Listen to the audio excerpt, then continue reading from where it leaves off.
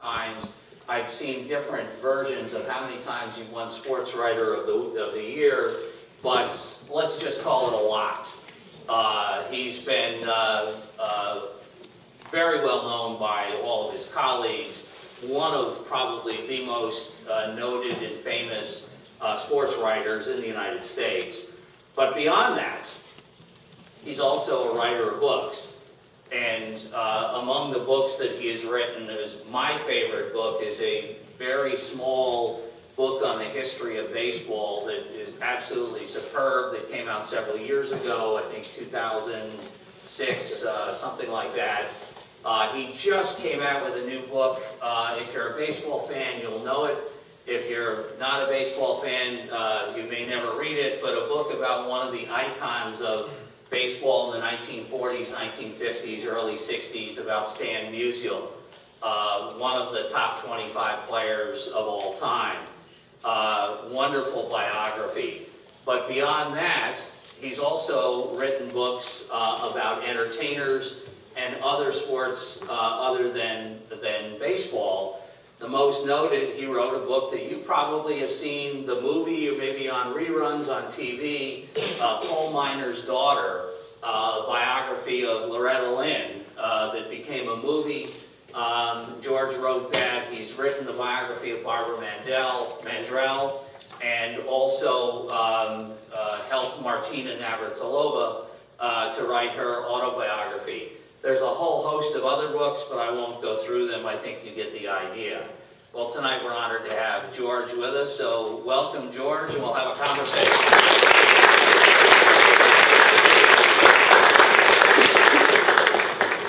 Okay, I have to read one thing that I found. I was trying to find a good way to summarize what people think of your writing. You'll probably recognize this, but I'm going to give the intro. This is a little blurb that I took off the internet, uh, and it was written by a, a woman in New York.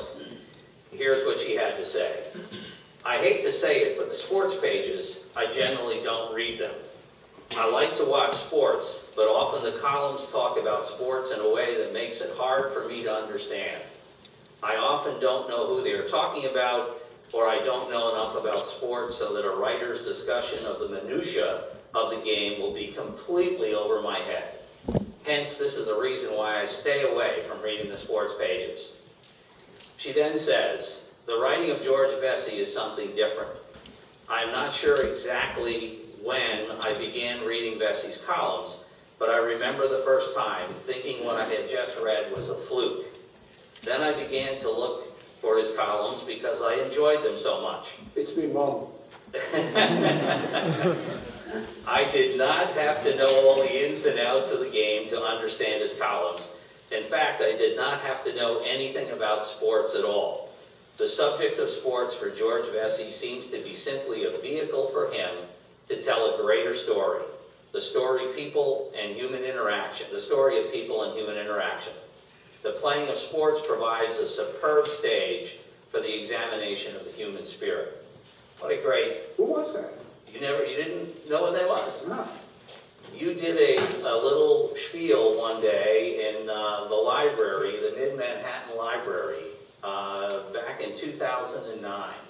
And a woman by the name of Cynthia Chaldakis was the librarian at that library, Oh, and she okay. posted Oh, this. okay, that, that, it does come back, I mean, I had a nice visit there. All right, that's, that's very nice. Um, I thought, you know, only my mom could have been sending that from, from the beyond. uh, But then, but then again, then again, she was always my, my most severe critic, always wondering when I was gonna get out of sports and, and do something important.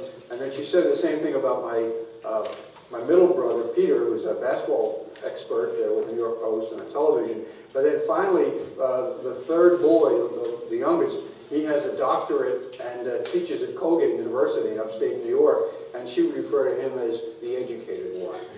So I'm sure it sounds like a lot of other families we, we could mention where, you know, it- it's hard to do right, but anyway, it's nice to know. Well, it's a, it's a, it's a great testimonial to the pieces that you write, I think, and, and uh, I can see where she would come up with that, having read your columns for 8,000 years, I think. It's, it's very nice of her to write. I, I will say this, and I, I write, I- as long as I've been writing the column, or I, as I evolved from starting to write a sports column, I came at it as a, a news reporter. I had been a news reporter for 10 years, and it was very hard for me to develop a voice uh, as a columnist. I had never thought about being a columnist. Going back to sports was somewhat of a surprise. I got talked back into it. We had the first female sports editor in the United States. Um, and she wasn't, she didn't come from a sports background, named Le Anne Schreiber. And she talked me into coming back um, to, to write about sports as theater, as short stories, and write about it as literature, have fun doing it, do some long pieces, uh, drop in on places, and then we'll both move on and do other things. And it seemed like a cool gig for a couple of years. She left almost right away. She went out to Baja, California on uh, uh, vacation, slept under the stars, and psychologically never really came back to that job.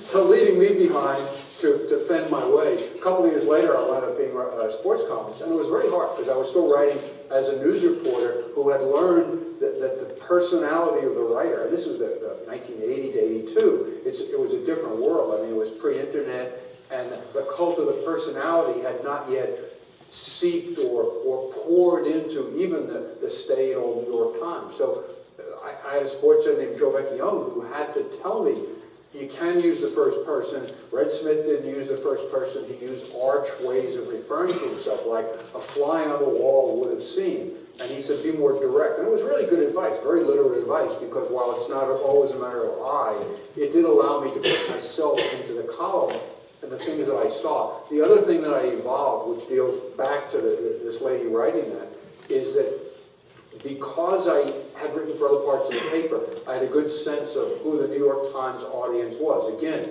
pre-internet, before there was a, a worldwide audience of hardcore sports fans looking up what we did on the on the uh, on the web. It was important for me to try and reach the people that I knew were getting their hands on the paper, and I didn't want to lose half the readership of the New York Times. I didn't want to be writing for what I perceived as the, the mostly male sports fans who, who got into the paper.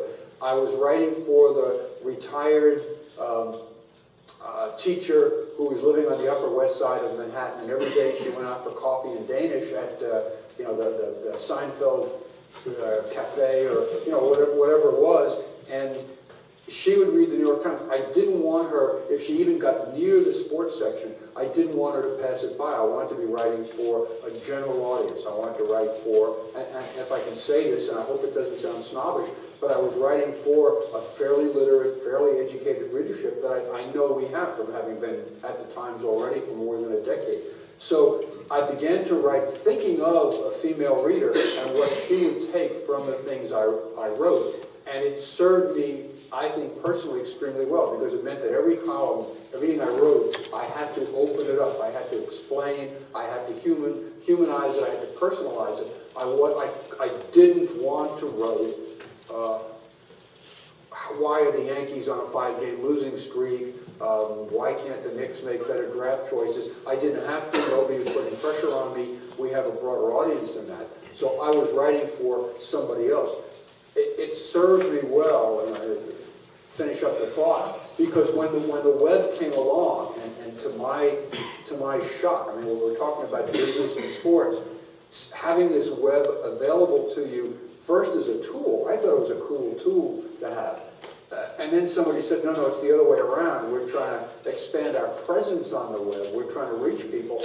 And the things that I care about, like the Tour de France, uh, the World Cup of Soccer, uh, female sports, a lot of things, I discovered that there was this huge audience. If I would write a, a column about a U.S.-Brazil soccer game, the paper in Sao Paulo would pick it up, and I would start getting letters, most of them in reasonably good English, from Brazil, uh, saying nice things about me and nice things about American football because they weren't threatened by it by any means. And it, and it was really a sweet contact to have all over the world. So that's, that's a major change. And it allowed me to continue to reach out to the, the broadest possible audience, not just an American audience. So I see myself as writing for essentially people all over the world. And, and you know, the example you see back there. Well, it's, it's funny that went right to, you wanted this broad audience, and that's what you're looking to do. Is that what led you to do the books with Martina Navratilova, with maybe the books about Barbara Mandrell, and maybe uh, um, about Loretta Lynn? Were you looking for something different than just male-dominated sports? Well, I don't know that I was looking for it. I mean, each, every story is a story in itself. And, and whether I was covering it as a news thing or a book, things just, uh, things, things just sort of dropped in my lap. And I was a news reporter in Appalachia. I got to know Loretta Lynn uh, because of my curiosity about hearing about this country singer. I covered a coal mine disaster uh, where 38 miners were killed on, on New Year's Eve in 1970. Um, and I got very involved in that story, you know, found out why it happened, and I got to know some of the widows and family members. And Loretta Lynn came in off the road and did a concert for a benefit for the family members. And I thought that was pretty cool, and I want to, that made me even more interested in meeting her. Finally did about a year later, interviewed her when she won a big award. And out of that came a friendship. I wound up doing her book, kind of circuitously, but I, I wound up doing it. And later it was made into a movie. I had nothing to do with the movie, I can, I can assure you. But no, it was, it was, it was subject matter. I loved covering Appalachia so much. It's still the best job I ever had. I mean, writing a sports column for the last 27 years has been wonderful. But the two years that I spent covering Appalachia, living down there where um, Louisville is not in Appalachia, it's kind of in the flatlands, but I was only an hour or two from uh, the mountain parkway leading up into eastern Kentucky and West Virginia. And that's where my head, as my wife says, she lived in Louisville and I lived in Hazard, Kentucky. And, and it's about right, because that's where, if you're a reporter, you are driven to where you want to be. And, you know, I'd get a phone call and something had happened, some, somebody blew up a mine or, you know, something was going on, and I'd be heading, heading east on I-64 up where you'd start to see the mountains up ahead, and that's still uh, the best job I ever had. You've said to me that you don't consider yourself a journalist. You distance yourself from that, that you're a writer. What, what's Well, that about? I, I'd say this, I'm, I'm a fringe journalist and I never took the kind of course that you're taking. I, I never took a journalism course in college. I don't know the rules, and I was only a very average reporter. So one of the reasons why I shy away, I never taught a course, don't particularly want to, because I don't feel qualified. I've always sort of, uh, one of my, one of my bosses is in the room, former bosses is in the room, and people will attest. I mean, I, I kind of go, I've always gone my own way on things without necessarily being particularly good at the, what I think are the hardcore tools of reporting, you know, even as far as breaking down uh, information, how to get it, and, and now with the whole world of, uh, of information available on the web and electronics. So I don't consider myself particularly you know, among the, the Times cadre of good reporters, if that's the definition of journalist, I'm more interested in the story and writing it and where it comes out. If it's in the New York Times, that's cool. The books are great too. They really are just about as much of my life as, as what I do for the paper because it gave me a chance to write about people. You asked if I was looking to write about something different or interesting. I have a very uh, I have a very strong mom. I have a very strong wife. Uh, I have three very strong-minded kids. The first two are, are girls. I was raving about them today. They're No longer girls. They're, they're middle-aged. And I was raving about them today in another class, the influence that, that they've been on me, all three of them, as journalists. So no, I, I was just looking for, uh, for subject matter. And if you can't get subject matter out of a coal miner's daughter or, you know, Martina Navratilova, a uh, uh, defector from communist Czechoslovakia coming to the United States and becoming this great and, and just lovely person that, you know, I'm still pretty close to. And so I, I did a book, I also did a book with a male, uh, Bob Welch, who was a pitcher for the Dodgers, um, not so much because he was a star pitcher and won the Cy Young Award, but because he uh, realized he had to admit when he was about 23 that he was a, a raging alcoholic having blackouts at 23 and basically got into AA and went to treatment center. I went to a treatment center uh, that he had gone to. I spent a week there to understand what he'd gone through. Uh, not particularly my problem, but it was still one of the best things I ever did. So the subject matter of going to a treatment center for a week and, and always having that shape my life for the last 30 years, uh, pretty much. So I, every book was different. Every book was an experience. And, you know, the sports was almost incidental to, to Bob Welch. He could have been a, you know, a teacher or, a, you know, worker in a factory. The point was he had to learn to save his life. Have you talked to him in the last um, few weeks with um, Justin Verlander on the verge of becoming the first 25-game winner, I think, since Bob Welch? Maybe, no, I have not talked about them recently. We've not been in touch for a little bit, but um, I, I, I just got a cell phone recently. I got a call. There you go, it's a good column for uh, Justin Verlander, hits his 25 25th win, right? So, now I should, you mentioned your former boss, who uh, was here.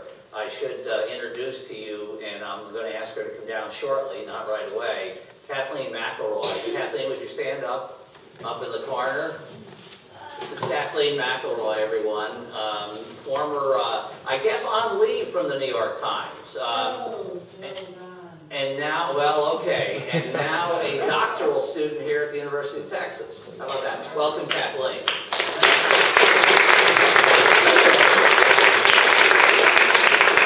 You're you're not getting off scot-free. We're going to bring you down a little bit to share a few comments and thoughts. Uh, So we're going to make you work uh, here tonight. You're a lifelong, other than that little trip to uh, Kentucky, I think, uh, a lifelong New Yorker. How does that influence how you write and report on this world of sports that, that, that literally is all over the world now, including soccer, as you mentioned, a, a a worldwide phenomenon? Um, that's a good question. I mean, I'm, I'm a very chauvinistic New Yorker. I was born there. I'm a subway kid. I grew up in Queens, uh, in a part of New York City. On the other hand, when I was a kid, we lived in upstate New York, and I was around uh, you know, in, in country settings. Uh, I've also lived in, in, in Florida, in different places. I don't consider myself totally a New Yorker. I've lived overseas here and there, but deep down, you're absolutely right. I'm, I'm a, a hard, a hardcore New Yorker. Very proud of it. Don't want really ultimately want to live anywhere else. How does it affect what I write about sports? Well, first of all, I, I don't root for New York teams. Uh, there's one that I like a little bit. I won't tell you which one. It's not the Yankees. I could I could tell you that because they they did terrible things to my Brooklyn Dodgers when I was a kid. I suffered terribly at the hands of the Yankees. So while I can, I, I respect this era of the Yankees a lot. Uh, being around Jeter and Rivera and Bernie Williams and people like that, uh, I'm not emphatically not a Yankee fan. But it, it gives you, I mean, being a New Yorker, you tend to have a view that you're part of the world, the world is out there, you're close to a lot of things. You're close to Europe, you're, you're close to the United States of America, you're sort of in between somewhere, and, and, and you can go both ways. You know, lots of things come through New York. We, we have so many different nationalities right, right up close in front. So I, I, some things seem a little foreign to me, like I know when, when I lived in Florida for a while, and I realized, I knew, but viscerally to realize how big college football was, where you'd see the college football uh, schools on the uh, uh, license plates. You know, they'd have uh, uh, Miami license plates or Florida State, people would be wearing T-shirts saying, "Friends don't let friends, you know, marry somebody from Miami," or whatever it was. You know, and, I, and I'm sure you all have the same things in, in, in Texas with Oklahoma or some of the, the schools within the, in the state. You think? Yeah, I'm, I'm sure, been, been peddled, peddled a little bit, but it, college football was, not that I didn't know it existed, but to experience is something else, and to live in a state like Florida for a while, having a place down there for a while, it was a big deal, but even if you travel, I, I certainly had the sense that all the, the other kinds of sports, other ways of expressing it were important. Um, You know, when you get on a plane, you go somewhere, and you spend a little bit of time, you, you understand. What's your, I know that you've written number of columns, and there's a lot of people out there who think that you have a very soft spot for soccer um, and would write about it more if, if you had the chance. Um, The business of soccer is not as big a deal here as it is overseas. What's your favorite sport to write about? I would say two sports are my favorite. Uh, baseball because they play it every day and because I grew up with it. I was a big baseball fan when I was a kid. My dad took me to Ebbets Field when I was six or seven years old. I can remember being, he actually took me to the press box. So I've grown up in newspapers, but also around baseball. And they play every day, and you have access to the players. They're available in the clubhouse after the game. I grew up reading a terrific reporter for the New York Daily News named Dick Young, who was the first real baseball reporter to go into locker rooms after a game. Uh, I told the story yesterday in a class, but Young came back from the war, was assigned to the Brooklyn Dodgers, and this was the year before they, they signed Jackie Robinson, but they were still an up-and-coming team and lots of energy there. And Young would go in the clubhouse and he would, you know, dig up stories and dig up gossip and controversy, and, you know, pit the manager against the players and all of that stuff. After a while, the editors of other papers in New York would tell that the baseball writers would write their story as fast as they could so they could go back into the press room, drink a lot of free beer, play cards, and they were pretty lazy guys. They wrote about the game like it was the, uh, you know, the, the War of 1812. You know, there was military maneuvers or something. There was purple prose about a baseball game. But Young was in there understanding that there were other things going on. Pitchers were complaining about being overworked. Uh, hitters were complaining they were in the wrong place in the lineup. You know, the, the usual athlete stuff. But Young was coming up with these stories, and he was beating everybody else in New York. The sports editors in New York told Young, to, told their reporters, follow that SOB wherever he goes after the game, and whoever he talks to, and listen in. Now, Young was pretty defensive and wouldn't let people goop in on what he was doing particularly, but he set a tone that I grew up reading of, of a new breed of sports writers in the 40s, and of course, baseball was changing all the time, sports were changing. But in, in New York, which had so many newspapers, had seven papers when I was a kid, plus a couple in Long Island and a couple in New Jersey. So when you have, you know, a dozen papers working in the, in the area, there's a lot of competition. So I grew up with that. Baseball was a great sport to, to cover. The reason I love soccer is, one, I think it's a beautiful game. I, I, I played it terribly in high school. I was, I was voted the worst defensive back ever to play for Jamaica High School at Queens. Um, but despite that, I, I, I continue to follow it. I think it's such a beautiful game to watch. I don't claim to understand it. You, become very humble in watching, in watching football, soccer, in knowing that I'll never understand it as well as people who grew up with the sport. If I'm at a World Cup or um, watching with friends, I watch with a, a friend of mine who's an Arsenal fan, fan, and he grew up in the Arsenal neighborhood in London, and another guy um, who's a Chelsea fan, and, uh, and he grew up in South Africa and then moved to, uh, to England and watch being in the same room, not only the, the, the, the, stuff that they lob back and forth at each other, the droll, nasty verbal abuse that only two Brits could do going at each other about their, about their teams, but the way that they know the game. And I'll never understand soccer. I won't understand why subtle things that are happening. I'm only beginning to get a little bit of a picture. But there's a sense of learning. And it's the same sense of learning that got me interested in uh, my, my pal Lance, uh, who I understand lives around here somewhere, uh, following the Tour de France for a number of years uh, during his during his time, and, and other sports. You know, I want to keep learning, and, and even you know, American football, that, that other little sport that we have here in this country. You know, I, I try and learn from it, but I'll never know as much about that sport as I do about baseball. We have a few soccer players here right. on the Texas team, sitting up here. So uh, maybe uh, you can pick up some pointers before, uh, before you leave. I, I am sure. I'm sure You know, they'll explain the offside rules. to me. Do that afterwards? Nobody can explain the offside All rules. right. You mentioned Dick Young. Yeah. Uh, A lot of the people in this room wouldn't necessarily know Dick Young because that goes back to the 50s and 60s. Right. He had a, I'm, I'm going to address the audience first and then you. Dick Young had, and, and I was a kid then and I used to pick up the Daily News and read Dick Young. Dick Young sold newspapers. Mhm. I think people bought the newspaper to read Dick Young's column. I'm not sure that I see that anymore. It was a different business then. But Dick Young was also a part of a group of reporters. Maybe he was a little older. You were one of the newer breed back then that I want to talk about as well, the Chipmunks. He was not a chip. He was not a, Chi- he was the old breed. He was, he was, he was a forties guy, Right. and, you wanna do the intro? or Yeah, no, no, no, you go. Right, so, early in the sixties, a bunch of us who were in our, let's say in our early twenties, mid-twenties, were coming along, and a few older people too, who were young at heart, uh, characters, a guy Newsday named Stan Isaacs, was one of my mentors.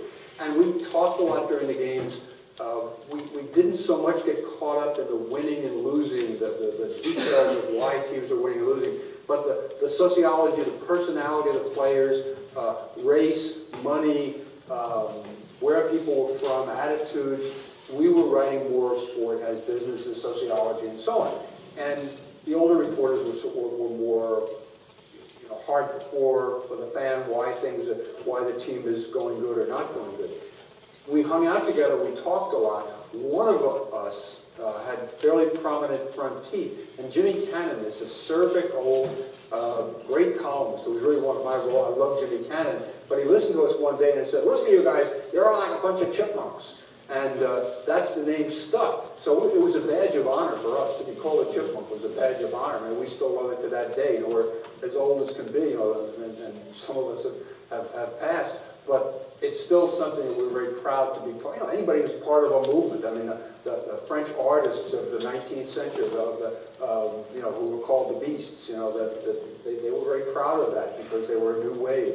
Anytime you're young and you think you're hot stuff, you, you are that way. So we were young, we thought we were hot stuff, and it was fun. I had hair in the late 60s. I had hair down my shoulders and was anti-war, anti-war kind of guy, and uh, you know, peace and love, and you know, and, and some of the same trappings, if not all of them. But it was fun to have some old football writer. You'd be at a game on Sunday and have somebody from the, you know, the Dallas paper or the Philadelphia paper or somebody nudging and saying, "Who's that?" You know, you could kind of hear that in the press room. So it's, it's why I have a lot of, um, of course, now, nowadays I think of I think of the young baseball writers as being so driven and conservative, uh, and that they're always I don't know what they're doing with their thumbs. Can anybody explain that to me? What they're doing all the time? They're hunched over their machine. We used to argue about stuff in the press box. We used to argue about politics or food or where we were going out that night or you know which who had the better view of the of the girls in the stands. It was all guys in those days, and, and we were always engaged in stuff. We weren't as busy. But now all my young colleagues, all, all they do is like that. So if you can explain to me what they're doing, I, I think I'm missing on the train. All right, so offsides and the thumbs, we gotta deal with that when, when we're The done. thumb generation, they don't argue, they don't talk. So Dick Young, older breed guy, still around, very much a force in the early 60s.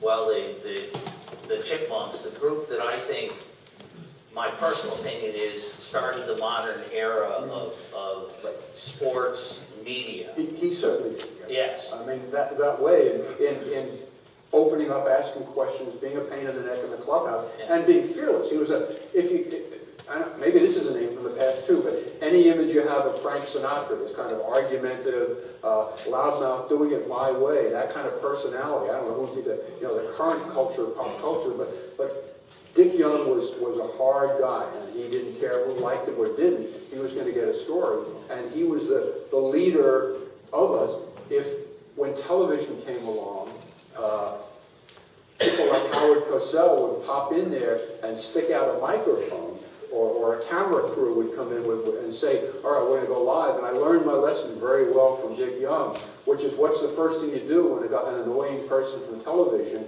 uh, got in your way, is you curse in their microphone.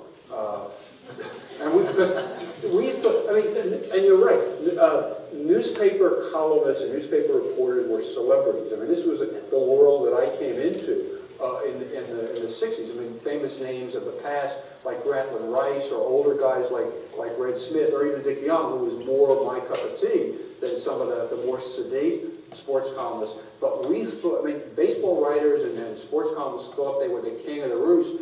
Radio didn't really, you know, it was nice, but sports was not a big business. And television was only beginning to move in. And then when people came in with microphones and with, with television cameras, it was like the cattle herders and the sheep herders in, in the Western movie where you were fighting for your turf. I learned from young is to be defensive, not to be afraid, not to give an inch to these people because there was no law that said that a TV crew had the right to interrupt. And, and chipmunks, the thing we, we thought we were different in we like to psychoanalyze ball players after a game. It's always always interesting. A guy has a bad day at the plate, and now he's in the locker and he's you know stripping down to his uh, undies or something, and he's smoking a cigarette. In the old days, you know Roger Maris smoking a cigarette after a game in the locker room, which he did. And you'd be going up talking to the guy and saying, "Well, how come you went over 4 today, or why are you having a slump, or this or that?" and you didn't appreciate being interrupted. There's no law that says a camera crew can come in there, but I learned my lesson from Dick Young. So in the, in the 1981 or 82 playoffs, I was in a locker after a, a night playoff game in Los Angeles. I was in, I was in a clubhouse interviewing Mike Scioscia, who's now the manager of the, the Angels. Scioscia was a good guy. He was also very big and could take a charge at the plate as well as anybody. And, and we're talking to Scioscia about other things and psychoanalyzing him, and he's being very nice. He's talking about it. In comes the, the Howard Cosell of, of Los Angeles, a guy named Stu Nahan with a camera crew, and he's, he's live. He, said, he, he flies in, he sticks out the thing, he says, okay, we're going live to talk to Mike Scioscia. What do you do? You curse into his microphone. I said, you know, and such and such, you're not doing such and such. So Because they have to, now I get in a fight with the guy, not a physical fight. But here's, you're looking at a six foot three catcher backing into the locker, you know, like, you, guys, could you please, like, don't, don't do this around me. Scioscia was like, he didn't want any part of it. But I'm having it out with the, this annoying television guy. And that night I took a red eye from Los Angeles back to New York. And they had a movie on it. Was one of the uh, Rocky movies. And I'm half asleep, and I don't watch movies, but I open my eyes, and in a Rocky movie, where this guy I just had a fight with, he's got a, a bit role as the annoying television broadcaster. And now in the middle of my airplane red-eye sleep, I have to see this guy all over again. But that was the kind of border wars that were going on. And I can tell you, since we're talking about journalism here, it was a losing battle. We lost. Now, we, we lost the war because now newspapers are diminishing, they're going away, television and, and you know, the beast of television and the web and all the underwear guys who don't even, don't even come in the clubhouse and they, they brag being home in their underwear that they know what's happening, they know all about sports because they're smart guys. So they're writing on the web about things they're not covering. So newspaper people, the people that actually go and endure the, the, uh, the, the circumstances and learn and ask questions and dig and ferret around. We've lost the war. There are fewer papers, there are fewer of us. I was counting heads at the U.S. Open recently, uh, the tennis tournament, and I was counting the people that weren't there. You know, my buddy Dale Robertson from the Houston paper, his paper doesn't send into the U.S. Open anymore. My pal Michelle Kaufman from the Miami Herald. These are papers, Miami Herald was once a really good paper, and it's just it's just flimsy nothing anymore. Newsday doesn't send anybody to the World Cup anymore. With the paper I grew up with, uh, Newsday has become just a, a, a, rag. It's owned by a, a, cable company called Cablevision. They're a bunch of ditch, ditch diggers who came to own cable companies, and, uh, and I'm, literally, I, I literally, wanted you to give your opinion literally, tonight. literally, literally ditch diggers, as a matter of fact. And and we've lost the war. I mean, they, they own it and they, they come through. So it's it's kind of fun to be in a minority. It's kind of fun to be a, uh, you know, I'm, I'm, I'm part Irish and I got an Irish passport. It's kind of fun to be a, a cranky, uh, a cranky uh, minority. Uh, well, that sets the stage very well. So 1960s, I think we're starting to see TV become a force. Uh, we could talk about radio and how that's changed. I think we'll we'll pass on that for tonight. We'll, we'll deal with radio in here in the next few weeks. But TV becomes a huge part of how we learn about our sports. Less Dick Young, more Howard Cosell. Uh, it, 1960s, we still have some wonderful old baseball players who, uh, the Mantle hangs it up and Koufax hangs it up. So we're, starting to see the transition on the field. Stan Musial, who we'll come back and, and talk about a little bit in a little while, hangs it up. A new breed of players, we, we start seeing the advent of TV, um, maybe more football oriented than anything else. How has that impacted right up through today? You, now looking back, you see the beginnings of it. Now let's go to today. What's, what's um, TV done to what you do and how you try and get your message across as a columnist in the New York Times? What's the difference?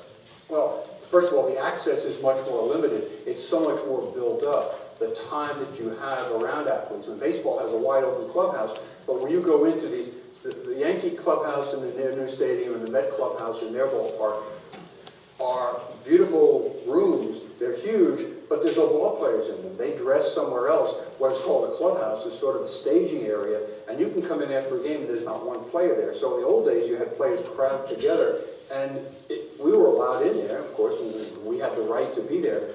and the players had to be there. There was no other place for them to go. So you'd see Mickey Mantle in his locker. He might snarl and tell you where to go, but they were around. They also, it was not a very sophisticated era. They had not come along, they were not comfortable meeting the press in any way, electronic or written press.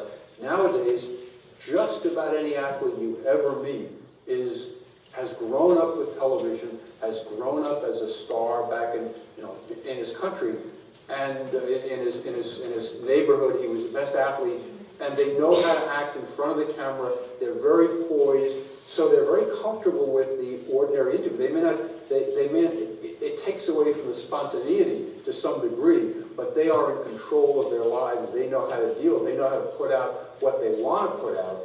And the problem is that you, you can't break through the facade of the athlete who doesn't want to be broken through. And the same thing is true with the coaches. I mean, when, when Pat Riley was the coach of the Knicks, Pat's a bright guy, I got to know him, but he would come out, he would give his little spiel after the game, and he'd say, okay, got enough? And bam, he'd be in the back to, to, to- his smoking room, and, and you couldn't, uh, you couldn't, you couldn't push him. Whereas other coaches in the past, you, you could hang around them more. So I think athletes are more, more sophisticated today. The rules are more codified, where you can't, you can't necessarily get at them, you can't stay around and talk to them in the same way because they're a little too smart for you. But, but there's also a veneer. Some athletes are terrific. I mean, you, you find one in a hundred that, that will stay around and talk. I mean, the, the Tiki Barber who played for the Giants, or, you know, you get a couple of guys who play for the Knicks, you get used to them, but they're, they're way in the minority just because they don't have to be. And one of the nice things that's so honest about, about sports, in a sense, if you want to call it honest, is that back in the day, when I came along, players made pretty much the same, the average player made sort of the same economics that the reporter did. I mean, I, I had the same concerns in the mid-sixties for, uh, you know, driving my car north or how much it cost me to go to spring training. The players that I was close to, and I, you know, you, you tend not to be close to the stars, but guys I got to know, a guy named Bill Robinson played for the Yankees, and Will Gregory, one of my, my best friends in, in baseball, he had the same the same concerns. He had his wife was pregnant, he was in spring training, he had no way to get her back, he did, you know, it cost a couple of hundred dollars. I'd said, look, I'll go, I'll drive, I'll drive your car, and I'll drive Mary home, she, she was pregnant, and, you know, and so on.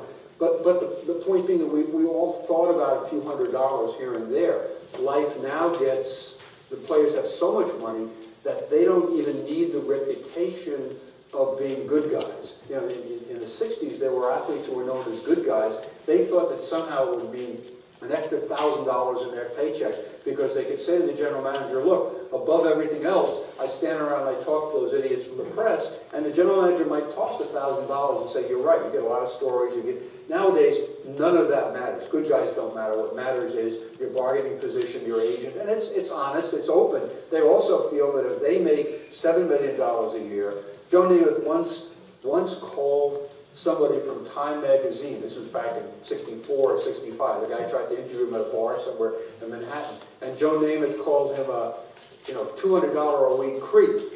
And, and the guy was very insulted because he said, you know, Time Magazine, we make $250 a week or 300. But, but the point was that, that Namath was onto something, and it's only gotten wider since then. The players make so much money that we don't, they don't have to pretend to really like us or need us, and, and vice versa. So it's not warfare, it's just there's a huge gap, and we're writing about a different phenomenon. We're writing about something else. But how does that translate to the fan? It seems like today, we have, we know more about the players, although I'm not so sure that's true. But in the Rost example, we're seeing footage of people that they post themselves where they're naked and, the- you know, anything shows up on the internet. So athletes are now communicating with us directly instead of through reporters, Right. writers. Right. How's that impacting the fan and their perception and how we respond to sports? It's, it's all showbiz, and, and it's hard to tell what's real and what's not. I, I will admit, I have not joined the, you know, I was kidding around before about it, but I've not joined the social network generation. Maybe I will, maybe I won't.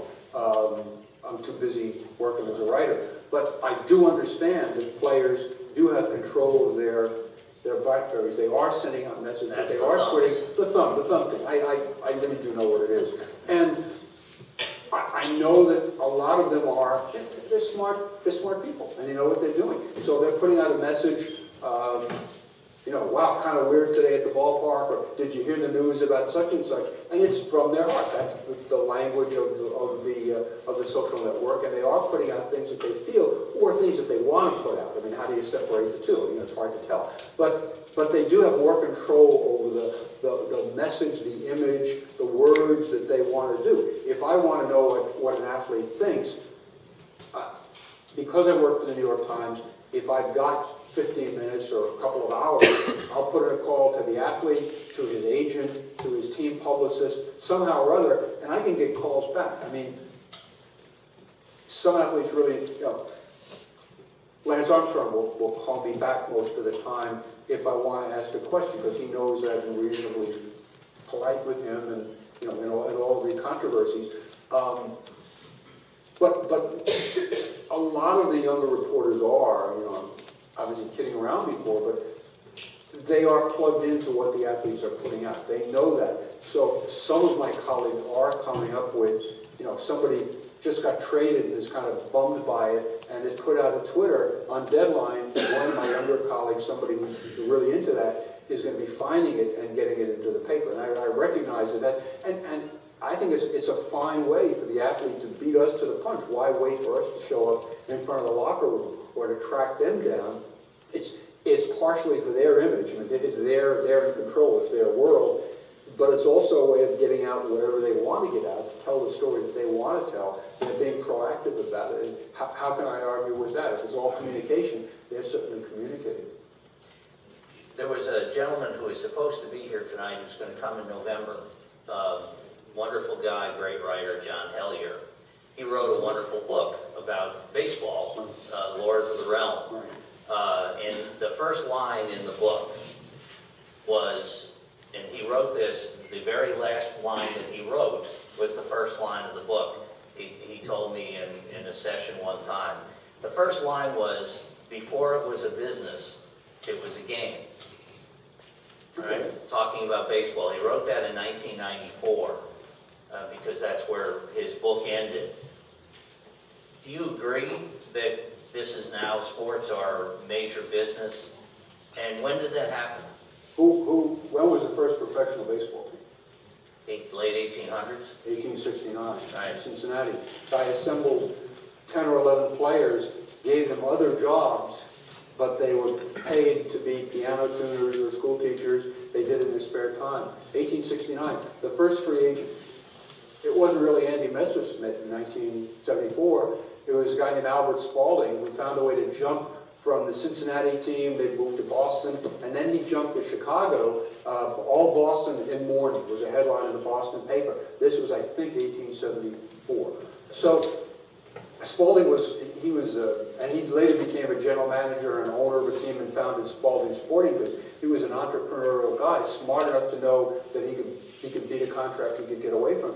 I, I think it was always a business, maybe not when they were playing in 1839 on the fields in Manhattan, um, the Knickerbocker Baseball Club, but by 1869, some guys were getting paid to play baseball in the Midwest. And by, by a few years later, Albert Spalding was making hundreds and hundreds of more dollars in those years by, by jumping. So I, I, I don't agree, I don't agree with that. I think that athletes, certainly by the 20th century, some of the labor things that went on, I mean, the strikes, the holdouts, people couldn't make enough money and wound up, you know, they'd get out of baseball because they could make more money staying home and working for their father-in-law, um, you know, in, a, in, a, in a, some business or other. So I- I, think that it's always been about money, that if, if you couldn't afford to play baseball, you, you, you couldn't, you couldn't afford to be there, you'd go home and, and do something else. Um, I know players that held out for a whole year. Edd Roush, who's a Hall of Fame center fielder for the Cincinnati Reds, he held out for a whole year in 1920 or 21, something like that. Just didn't play because the Reds weren't giving him a lot. Uh, So, so long before you know, huge cable television money came in, and before baseball became big business, people still were struggling to how to support themselves, how to make a living, and, I mean, all you have to do, Ralph Branca, the great pitcher for the Dodgers, uh, who gave up the famous home run in 1951. I once walked into a meeting in the United States Capitol honoring Jackie Robinson, and I walked and happened to meet Ralph Branca, and he's going to honor his, his late teammate in the U.S. Capitol.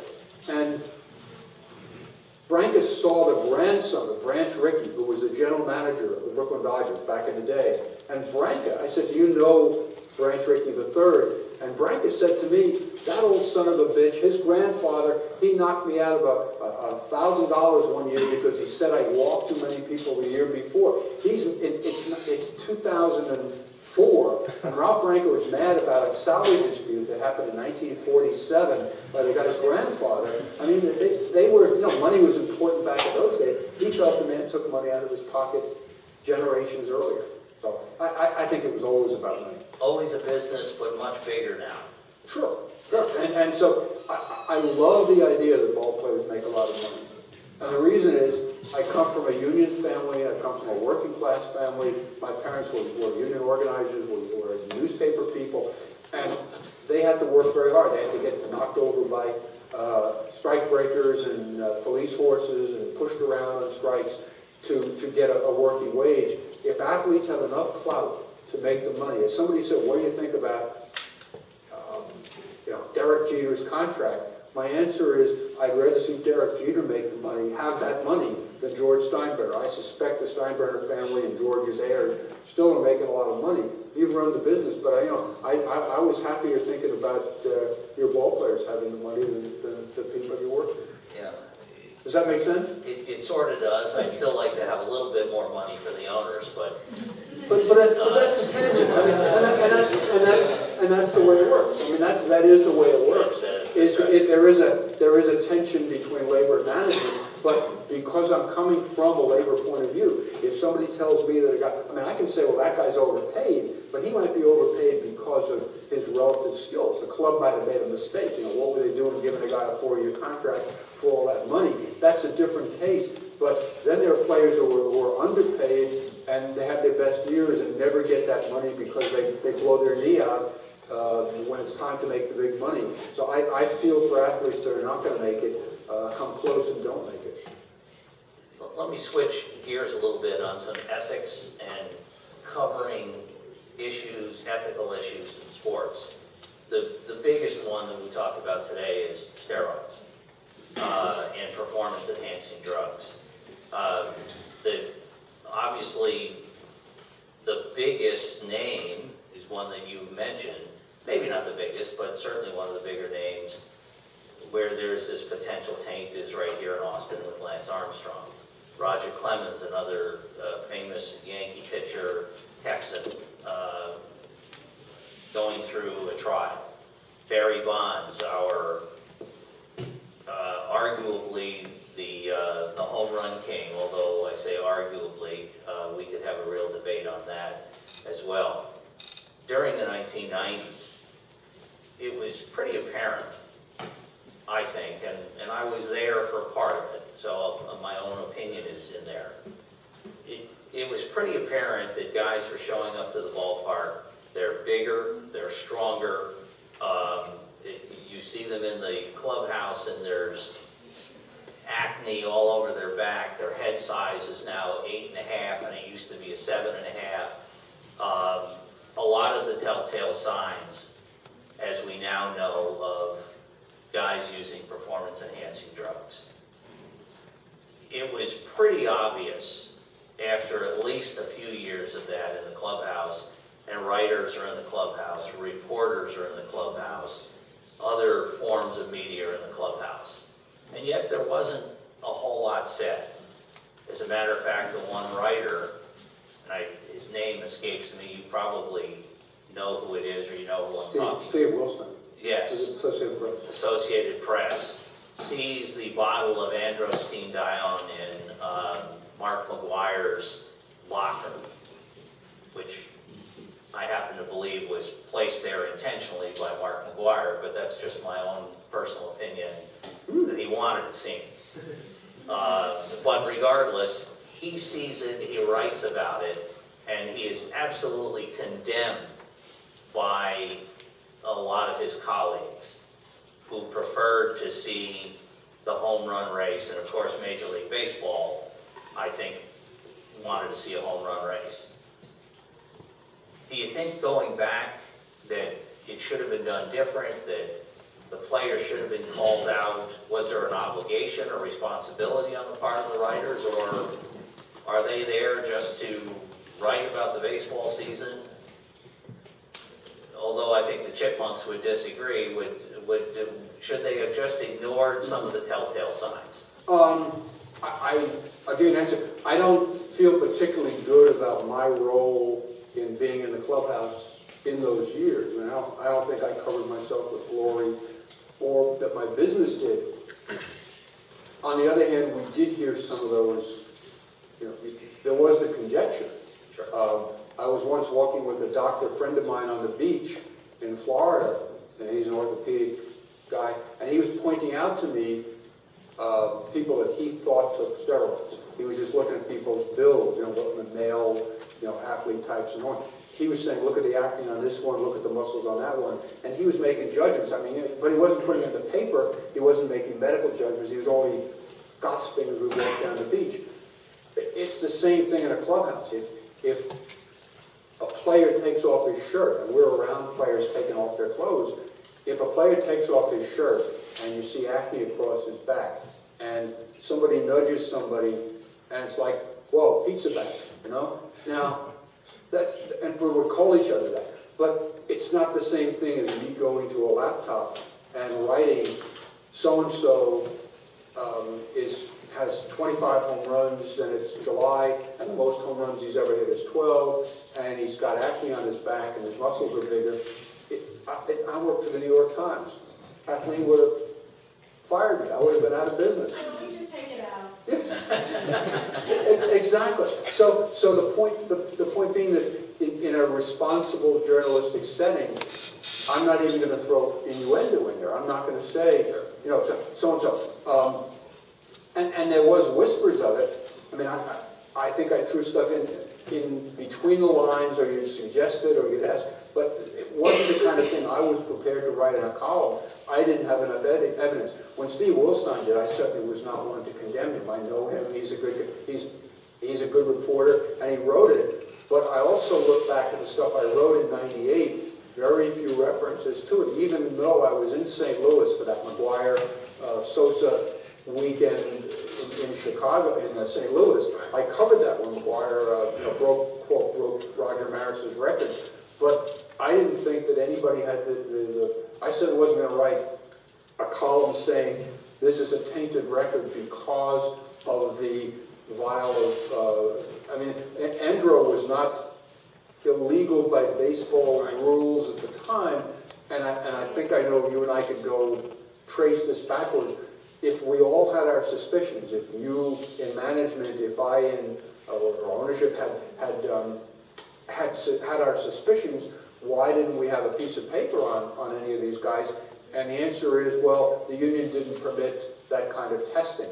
And it was a union management issue. The union dragged its heels a long time. I have a lot of issues as a union guy, somebody who grew up in a, in a real union. I have a lot of issues with the Players Association, and particularly the guy that ran it for a long time, named Donald Fehr. I, I have a lot of issues with, with some of his, you know, tactics and, and, uh, and, and uh, you know, his way of doing things.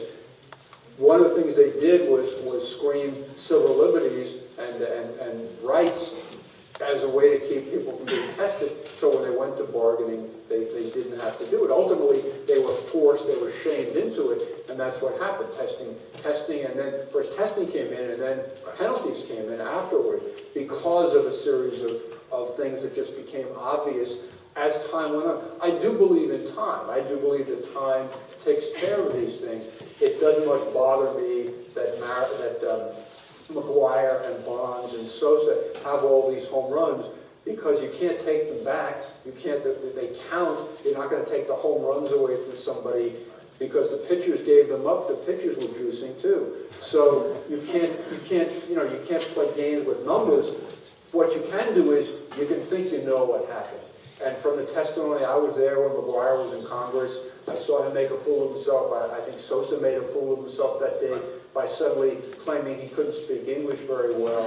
Because I've been interviewing the guy for years, and he spoke English very well. They, they- all, Rafael Palmeiro with the, the Bill Clinton finger, you know, I did not have, uh, you know, steroids with Miss so-and-so, you know, whatever, whatever he said, they, they kind of blurred my mind. People have lied to me in public, they lied to us in public. But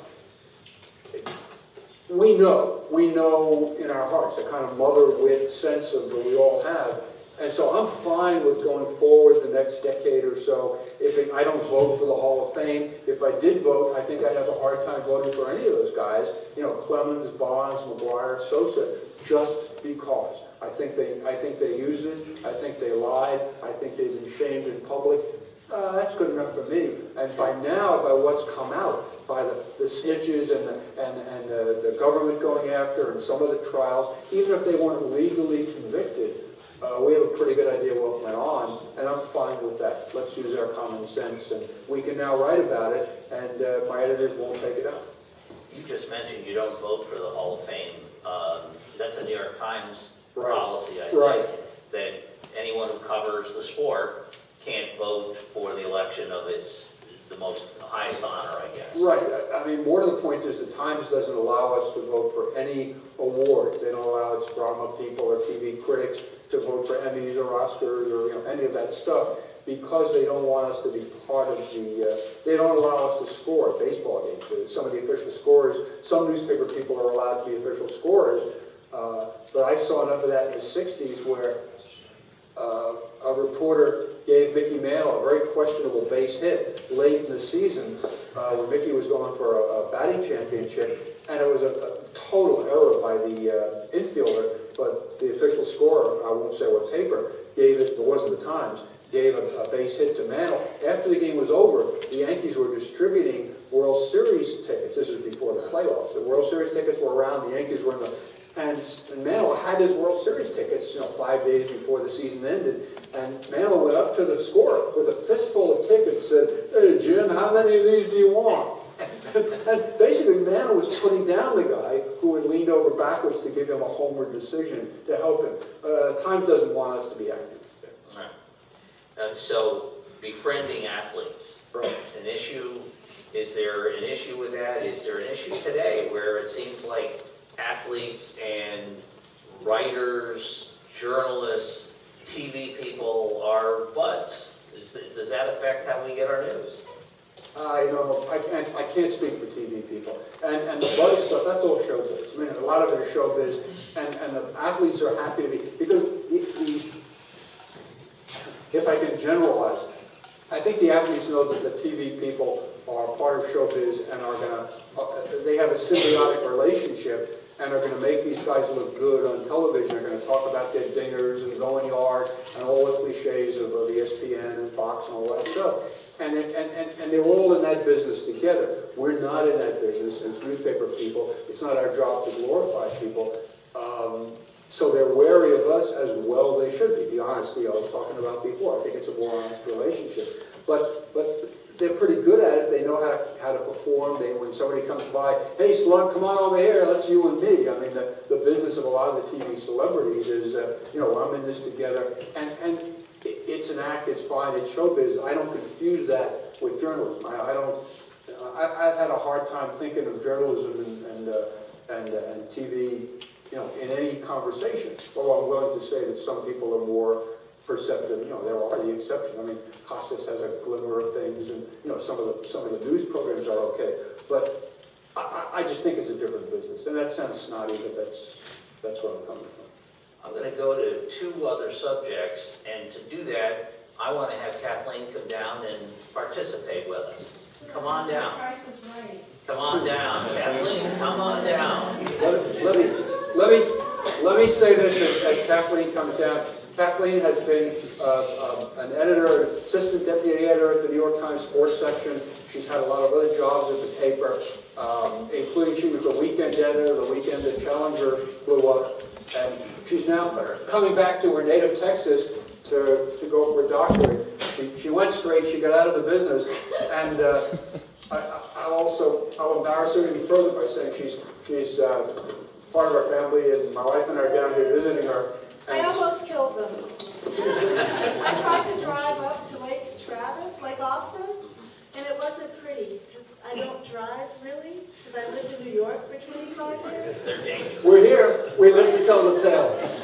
And I had a good dinner at the booth. So, so the point being, this is, this is a big time editor from the New York Times who was indeed one of my bosses for a number of years, uh, kept, kept us going, rewrote us, uh, took care of us, and is now, uh, you know, back, back home in her home state.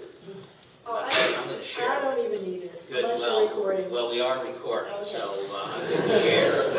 I'm gonna lean over and yell at, uh, at, at your microphone, how's that? Okay. Um, Couple things. I want to talk, uh, I'll save the, the new book of George's for last, and I'm interested in your thoughts about George as well. But uh, I want to talk about blogging and new media. Uh, As much as George is having us believe that he's not quite sure what those thumbs do, I noticed that he's been blogging. He can blog, and I want to review, one, a couple of things, I've been taking notes. George is a great journalist and reporter. If you read his columns, there's reporting going on. It's not just opinion. This is reported assessments and essays. So that whole thing, I'm not a journalist, I'm not a reporter, just forget that. Okay?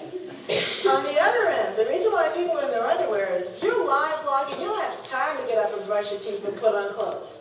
I don't know if any of you blogged on a regular basis, but you're busy. That's all you do. You're sitting there all day if it's an event. If you're blogging, you know, matches or, you know, Arab Spring, can get a little distracted. So some of those guys are legitimately in their underwear. They just haven't had time to get up. There's the picture, Arab Spring, men in their underwear, And Davis Cup. and Davis. Not a, not a pretty concept. Okay. Um, Blogging. George, I noticed, has been blogging on a lot of subjects. And so what's the future of blogging and will it replace what we know as print media? I'll turn that to both of you. Um, blogging is a subset of media, of web media. And um, it might even be passe now. Blogging for a lot of mainstream publications, like the Times, is a platform. It is not a journalistic concept. It's not the same as sitting down and write, if you're blogging your own personal ideas. The main reason why quote-unquote blogging is popular is because it is more efficient technically, a lot of times, to be on WordPress or Blogspot or any of those other things that you guys are on. It turns out all the mainstream publications are also on those things. So it's not quote unquote blogging in the traditional um, lone blogger sense, but more in the, if you ever saw Singing in the Rain, we're about to have one of those type of accidents. Um, if you saw the movie, you know what I'm talking about. Uh, moving this to this. There go. Um, so, blogging means a lot to journalists as like a simple way to get on the site. If George is going to put something in print, he needs to know his beginning, his middle, and his end. He's not going to just sit down and start, and correct me if I'm wrong. Um, As the editor says to the columnist. all the time. I think there's a different sort of mentality. It's not that your standards are lessened. It's not as if you're going to put just anything in there, but the platform itself, in this case, I guess the medium can be a bit of the message. That it, you, um, because it is an easier thing, you know it's going to be up within two hours of your writing it, as opposed to if he writes something for the paper at 3 p.m. and he's done at 3 p.m., it's still not going to be at your doorstep until 6 a.m. at the earliest. And here, the idea may be that he wants to get this concept out, and he may not have a complete picture, but this is important to say at this moment. So it's technically easier, and in that sense, you get a different quote-unquote type of journalism, but it's still journalism. What's driving the need to have it out in two hours as opposed to the way you functioned for 30 years? Well, because most people are on the web, if they have jobs, um, from 9 a.m. to 4 p.m. when they're at work. Or if a match just ended and, oh, I want to know what George said about Serena. You know, I'd rather know that at nine o'clock at night than wait till the next day. Maybe I want, you know, to be a part of that conversation. If there is no reason to wait for information, then you can put it up. Sometimes there is, sometimes there isn't. Um, As I said, you know, for George, maybe the new step for him is blogging. If you're Brian Stel- uh, Stelter, Stelter, one of our um, media columnists, and um, media reporters, I don't know if you guys have seen page one, the movie about the New York Times. You know, Brian tweets everything. You know, Brian would just as soon not even blog. He would just rather tweet the whole thing and don't make him write the story. And sometimes, you know, you could go back and write a complete, you know, reported article based on Brian's tweets. Um, so, you know, different people have different comfort zones with, and he's just shaking his head like, oh, no. Um, so, in one sense, if you can get the information up early and there's no reason for it not to be up, or if there's a rain delay and George has an interesting thought about rain delays in the US Open, and he wants to write 300 words on it, he can do that. He's not going to write 300 words for the paper. Well, you had a lot of time for this year's US Open to write 300 Singing, words. singing in the rain. Singing in the rain. Blog- Blogging in the rain. Um, So, do you like blogging? I've noticed that you've covered um, soccer, women's hoops, uh, women's basketball, baseball, uh, In blogs? and I've seen blogs where you comment. Yeah, I I have. Uh, Some of them were hit hit or miss. I did a lot of them during the US Open, and there's a reason for it, which is that we, in the- the new sports department, an editor spoke to me intelligently and asked me to, could I contribute more of blogs, because he was trying to beef up his esteem, right? Mm-hmm. It was a really good guy, has a great background in it, and it was the first time that I'd ever seen the concept where somebody had said, while the US Open is on, we're gonna be doing this blog item called Straight Sets. If you could get some stuff, there was a, there was a, a meeting of the minds. He spoke to me rationally. I knew what he wanted, I knew what he needed, I was able to respond to it as opposed to what I've heard from, from some other people. Kathleen's been at it for a long time. It's not me, I Right, it's not, don't care. but, but I, I have heard from some, you know, sometimes it'll be, well, if you have anything left over, just kind of, you know, it sounded like, I, I think of a lot of stuff on the web as toenail clippings, you know, the kind of stuff you do, and then you flick it out, and if it gets in the, I, I, as a columnist, I want to think about what I'm doing. And I have a hard time releasing thoughts. I've, I've done some things as blogs, and, and nobody saw them. And I realized I'd wasted, the, the one I did from Lexington during, the- during the, the, the sub-regional, where I stopped, it was the opening day, long story. Mary Todd Lincoln House, right next door to Rupp Arena. I went on a tour of it, I got a tour, somebody took me, I read a book on Mary Todd Lincoln. I wrote about her life and the things that she had learned from the slave woman who raised her. I wrote a whole blog about that and kind of juxtaposed it to basketball because I knew I was going to go and do a basketball column. I just wanted to write about it. And I put in a blog and I got six people commented on me being sensitive to the juxtaposition of the Mary Todd Lincoln House and uh, Rupp Arena. Later in the day, I wrote a column, a, a, a, another blog where I said that the University of Pennsylvania was trying to catch up with Princeton as an Ivy League basketball power. I got 7,000 uh, emails from Penn graduates saying, don't you know that we were in the Final Four, and blah, blah, blah, blah, blah. And so when you, when you hit the hornet's nest of fan interest, you suddenly, and, and I learned my lesson, which is don't write things that I would write in a column in the paper. Don't waste them on people who are having sports, um, you know, sports anxiety, sports uh. Stick a little bit closer to the subject. And I did that during the, but, but it's a hard thing to do. I mean, It also depends very much on the audience. I mean, George is going to get a million people reading him in print.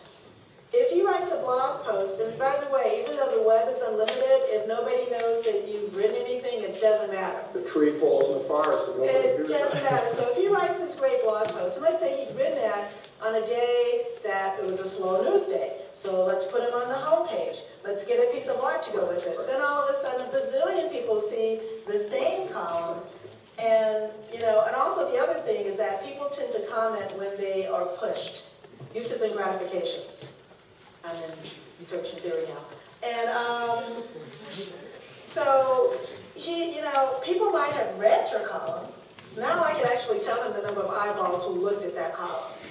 They might have read it and said, oh, that's nice and done nothing. Right. But, you know. That's what I always tell myself, when I don't get a lot of responses, I say, people, people read it, but they, they liked it, but they didn't. Another side note on comments, because I'm doing research in it, one, one, one one millionth, no, one ten thousandth of the people who read blogs in the New York Times actually comment. So very few people will ever comment on a Times blog. What about a Times column? No, on anything that's on a Times website, very few people are going to, you may see 500 comments. I did a 9/11 thing where we had 47,000 comments on a map about 9/11. And that still only represented very few people who actually looked at the map. So that's just a side note on the comments. All right.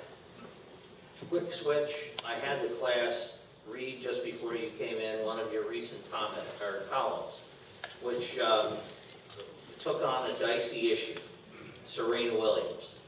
Um, Yeah, let's talk about Serena. Let's start. Everybody read the column, right? I don't know whether you'd seen it in the Times a couple of weeks ago. I was actually going to write a note to George the day was there. I knew I would see him, so I said, that's okay, we'll just talk about it in class. That's probably worse. Um, You took on the tough subject uh, with Serena Williams, and I think the class knows what your take was on it. Um, Easy to do, hard to do, uh, an obligation to do? Could you have just passed that one by? What drove you to write your comments about Serena She, that day? she did a thing on national world television, so I, I- I couldn't, you couldn't, you couldn't pretend you didn't see it. Um, and people were talking about it. I mean, by the time I went back, it was already, we had already blogged it. Somebody there had already said Serena Williams has outburst, is blah, blah, blah. Uh, so, I mean, it's horrible. It exists in the public consciousness like that, and then the Times is already, so, so if I don't write about it, I'm gonna look like a fool. Now, the question is, Your column adds an opinion element. right, right, and I had, the, the match started at four o'clock, the outburst was at four, I was sitting in the stands.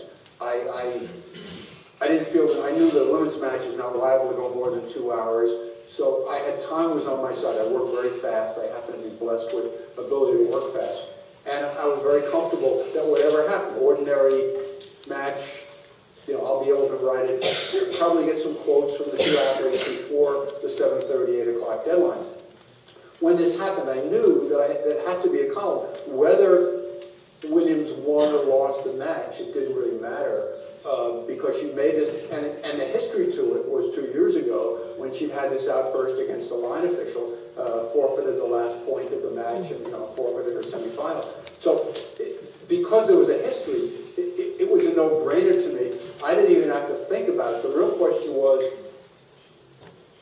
even as far as, as, as what I believed or what I thought, if I didn't go to, to the, if I didn't make the point that I made, I wasn't holding back, I wasn't withholding my opinion. I've been around those uh, players, the, the, the two sisters and their family, since they, since they broke into tennis. And I covered Venus's first match at uh, Wimbledon, uh, been around them, I've spent time with uh, their mother. Uh, we had a friend and you know, colleague of ours who had, gave me access to them for a while, was close to them. Um, so I, I, I feel like I know them pretty well. I've written a lot of sympathetic things about them. You know, they, they were, when they were 14 and 16, when, when Richard Williams was saying, you know, Venus is going to be a great player, she's going to be a champion, but look out for the younger one. She's the real tough one. She'll, you know, and, Richard would talk about how Serena was the, was the fighter in the family. So he's been telling us that she is the competitor and the tough one in the family. Everything is played out along that line. She is, she's a great champion. But to see those two acts within three years, I cover a lot of sports, I cover a lot of people. Uh, I think I understand, it, it had to do with, the- with the, the rules of tennis, the etiquette of tennis, and I felt these were both so far over the line that what she did that day had to be commented on, particularly when she came into the interview room and there were a lot of reporters asking her the questions. And I, you know, I could have, I could have dug up. If you want to look up her comments, go to a website called ASAP I think it's .com, ASAP.com, find their section on the US Open, and then you can find Serena's comment. The questions were pretty good. A lot of the reporters were saying, Serena, did you understand? I mean, and, and by the way, it's first name basis because we all know each other, and it's not, you know, there's no condescension there. We all, you know, we're all in this together. And the, the question would be, did you know that this was happening? Why did you say this? Are you sorry now? Do you think you behaved the right way when you brandished your racket, when you called a woman a hater, blah, blah, blah? And the answer is you can't hear the tone of voice in the, uh, in the transcript, but you can guess from it that it's a disassociated, well, I don't remember, I... You use the I- term sing-song. Sing song. She has a sing song. Both both of them have this sing song way, which I find quite patronizing. There's I'm around a lot of athletes. Most of them know enough to be a little bit more polite, you know, to, to and if not polite, to more direct. If you ask a question, they'll confront you. This is like I don't even have to give you an answer. What I'm telling you is I don't remember. I was out there in the heat of battle, and uh, you know, if you tell me, I, I just don't know. And I find that insulting to my intelligence as a reporter that an athlete would sit there and say, I don't really remember, it doesn't matter, let's move on, um, we're going to go forward. That to me is like just saying, you know, I don't have to answer to anybody. And I think they do. I think there's a public out there, and you know, it's not a matter of young kids watching or behavior or anything like that. It's the general etiquette of the sport. What I did get the next day, I mean, I got a couple of different layers of, of emails. Um, one of them said, when John McEnroe was acting out, what did you write about him? Well, I knew I was okay on that one because McEnroe comes from the same part of the city as I do. And when he was acting out as a young guy, I was already a sports columnist, I called him out on it as a, as a punk. I called him fried, uh, which has its own con- connotations. You know, I knew where he was at and some of the raids that he was going through. I ripped it.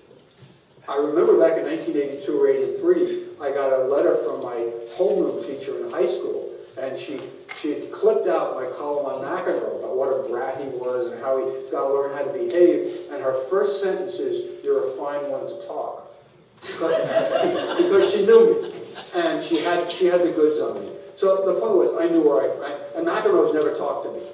I've never met him one to one. You know, I've never gone off and talked to him. I've talked to him in groups, but the times when I've seen him, he's given me his shot. He knows where I'm coming from. So I'm fine with uh, bratty tennis players who, who don't think they have any responsibility to behave right. I, I, I paid my dues with him and, and with Connors, whom I like a little bit better, but I also ripped him for the way he mugged a, uh, a player in public, uh, Aaron Christine, years ago. Having, having said all that, the other thing I got, I got, I got some emails from people saying, um, this proves that you are a racist and you can't relate to a strong black personality, a woman who's got a strong athlete's body, you're bothered by all of this. Uh, I- I've been in the business too long, and uh, you know my life is too complex. I know where I'm coming from. I'm fine with all of those. People who don't know me, my answer to those people who wrote those emails is, please go back and look at some of the stories I wrote over the years. I've written over the years. Um, you know, I gave a few references of people that you know think I'm pretty cool, and I, I don't feel the need to defend it, but I do have answers. I'm, I'm, I'm fine with all of that. Um, having, having said that, did I think it was controversial? Honestly not, because if I didn't react viscerally, that's what my job is, is to be visceral. I've been, I've been told by my editors over the years, you know, what do you think? The public wants to know. And I didn't even think I was being, I didn't think I was even taking a controversial stand on it. I guess I wasn't surprised by some of the emails, but if I didn't say that, I, I wouldn't be living up to the things that I believe about the way people should behave, athletes should behave. Let me ask you a question about that, if I may, and then Yes. in. George called out Serena, not necessarily for what she did on the court, Oh, although that was part of it. It's what she said after about what she did on the court. Right. Good call, bad call, right Oh. I, I agree, because, I mean, there are a couple of things about the column that he wrote. Most of the responses that people have to race will always be racialized, or anything people have to do with anything of people of color, it becomes political, it becomes racialized, it becomes controversial. Race is controversial in America, always will be, doesn't matter, you know. So even if you were to do a content analysis of his column, there's nothing racial in his column. You look at the letters to the editor, trash talking, you know, ghetto, stuff like that. The response was racialized, but the column wasn't, even if you didn't agree with it or agree with it. And I think the point he's making was that, because Andy Roddick is a jerk. But he, you know, on the court, he is like, and he lives here in Austin too. But, you know, in the press conference, he tends to admit, I lost control. I, I was, you know, I lost my head, and, you know, I thought the ref, whatever. But this was the second time in her last two U.S. Opens, Serena not only did something that was maybe out of control, but her, she never confesses, she never, not even if the word is confess, she never owes to it. Yeah, acknowledges or. Right, and you, even if she were to say, that's what I did out there, it might have been wrong, but that's the way I felt, and, you know, I, you know, I am what I am, but th- what I did, I did. But it's always like, oh, I don't know, there was pressure, did I say that? And I like Serena, I really do, I, you know, I'm, I am so with Serena, but it's like, did I really do that? Did I just kill somebody? Oh, So that's the hard part. Yeah. And, and, and by the way, if you think I was tough on Serena, go back and find a column I did on Mark McGwire when he appeared in front of Congress Oh, in 2005. I mean, I just said, he's ruined his life forever, he made a fool of himself in public. I have no problem, I have no problem doing that, and this is a, you know, big, big white guy, uh, you know, male, white, you know, whatever, baseball. I mean, it's, it's not. He's none of- smaller now. Yeah, well, right, right, good line, that's, but, but I have no problem with that. I mean, if I didn't, if I didn't sit there and see him make a fool of himself in front of, uh, you know, where- where congressmen were trying to talk him down or being an idiot, and he couldn't be talked down. You know, um, um, Elijah Cummings from Maryland was trying to help him and, and couldn't help him out. Um, I, I, I've been at this a long time. I think my, my responses are, are, are acquired. I know what I'm doing, and I have no problem calling a shot like that. I, I, I didn't, I didn't think it was big, and, and I never, I never injected race into it. I mean, people, you know, right, right. it- it's in the, in the eye of the beholder, but I, I, I didn't think it was an issue. Last subject before we go to questions. Um, And, and I would feel uh, bad if we, if we didn't talk about it. You have a fairly new book out about Stan Musial. And um, I, I want to read you uh, what one person said about this. Now, he's going to know who this one was. And if he doesn't, I'd be surprised.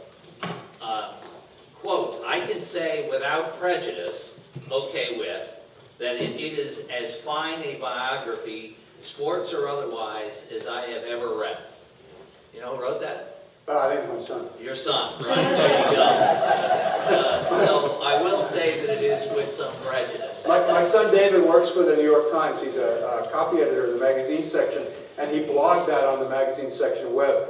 Uh, David is not, he tosses around compliments to his parents like manhole covers. Um, and, and he's a very cool guy. He's very, very droll and very cool and very smart. And it, I was thoroughly honored by that. Uh, I, I'll, I'll give you the short form on the book.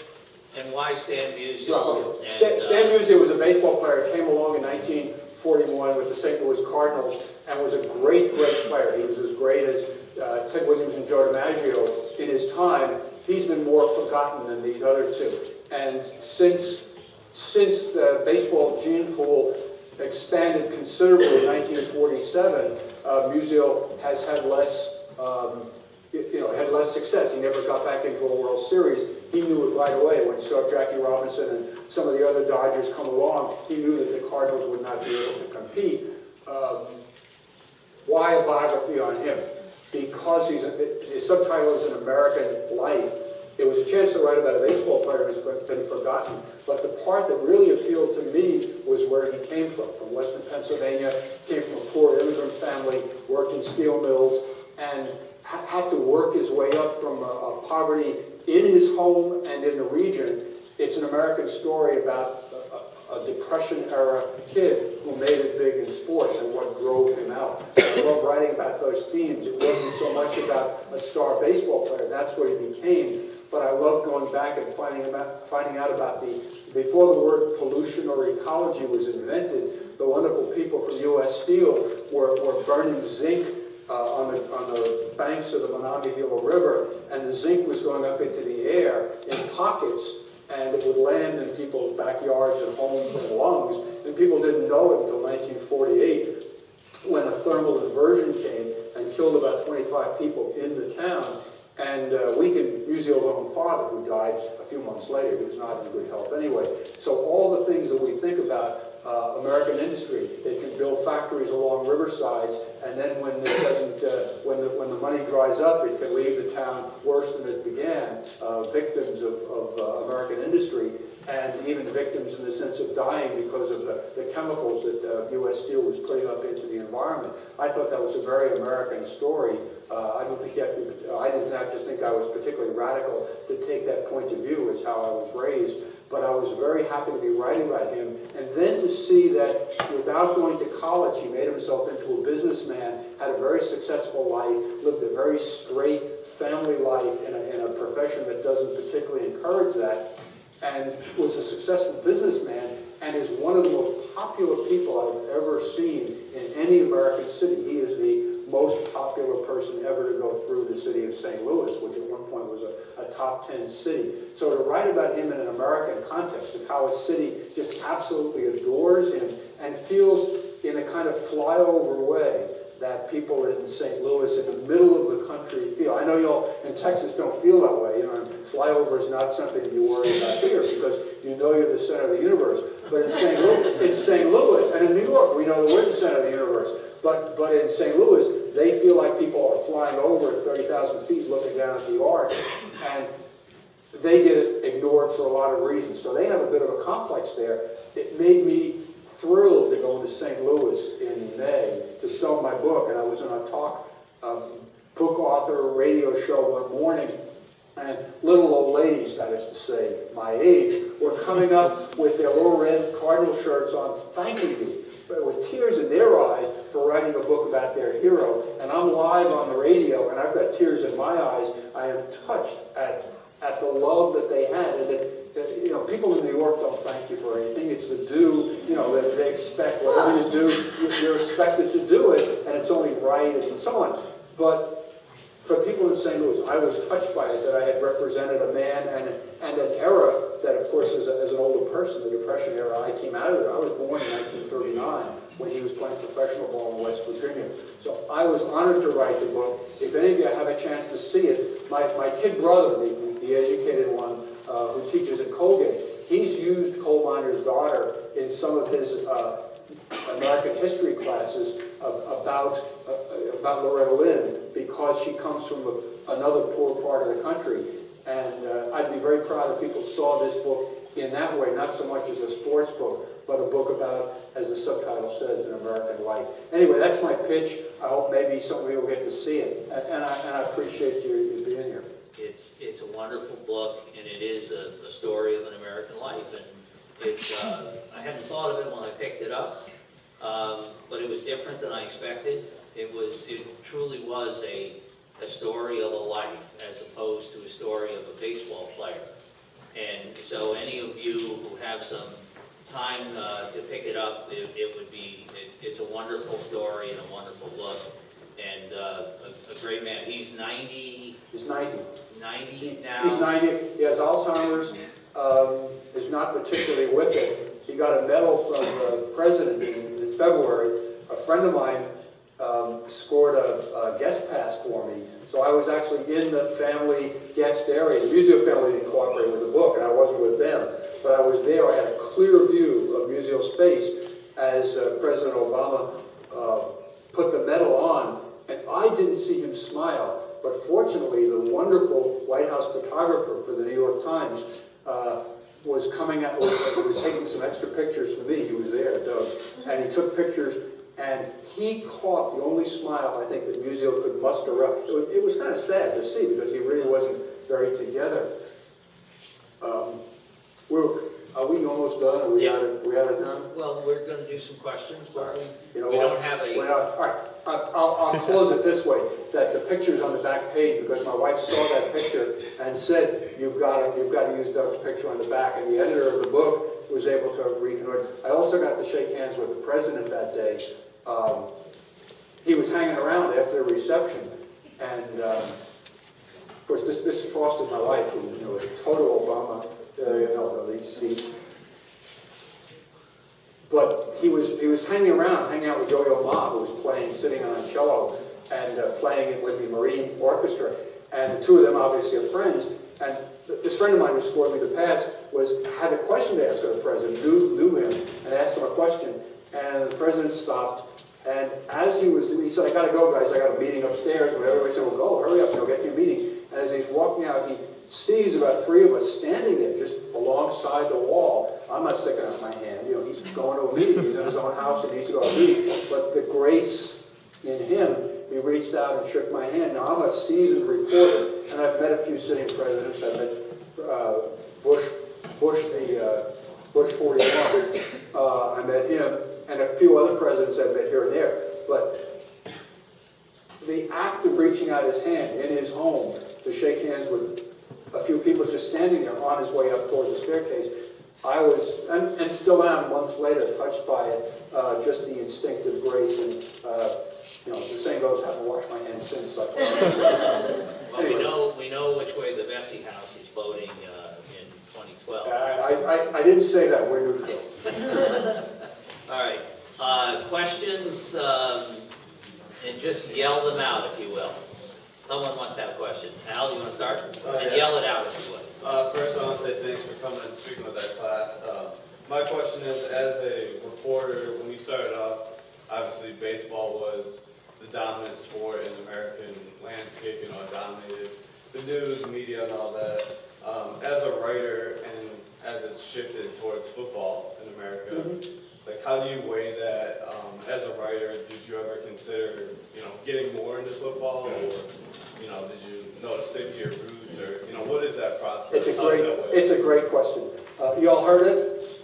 Yeah. Okay, um, the, the answer is yes, and I also have uh, yearly evaluations from our, our fellow boss, uh, Neil, saying, and you know, next year, uh, great reviews, but next year you might consider doing a little bit more on the NFL. And, and he was right, and sometimes I didn't, but we also had, we're down to about one full-time columnist now, but at one point we had five columnists, and Dave Anderson, who was my senior and a Pulitzer Prize-winning columnist, he loved the NFL, and he was, I wouldn't say proprietary, but he had the right to do what he wanted, and he was at the NFL. So I didn't feel the need to do a lot of it. I did some, and I liked being around it. I mean, I certainly, I'm as, I love twitting football by calling it, you know, American football and, you know, the real football and soccer, and, you know, all that stuff.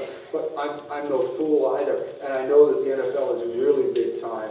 And when I go, I take it seriously, I like to listen, I've met the commissioner, and I've interviewed players, I love being in locker rooms. So the answer is, you're right, I ought to, I probably haven't done as much as I should have, but I, I certainly acknowledge that it's there. College football the same way, living in Florida for a while, forced me to, to evaluate how important college football was and to take it really seriously, more than I ever had before. I will say this, your market will also dictate your coverage in some extent. And not so much at the New York Times, but if you go someplace else, that could dictate, you know, football is, is king here, but you could be someplace where it could be something else.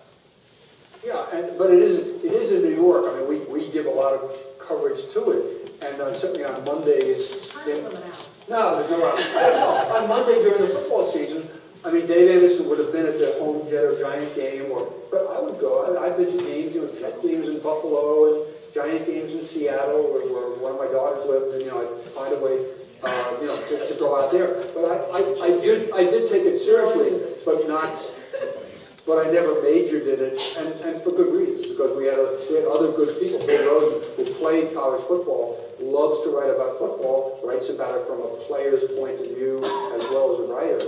And uh, they didn't always need me on, on Saturdays and Sundays, but it's a very good question. Yo, yell it out.